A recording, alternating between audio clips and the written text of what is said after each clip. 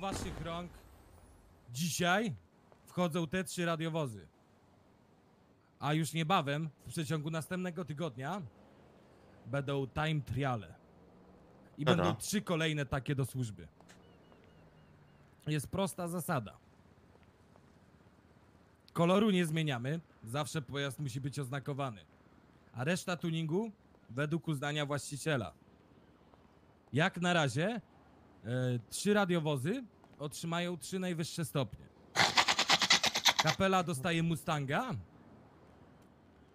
Pisikala dostaje Dodge'a. Zamieszki. A Montana otrzymuje korwetę.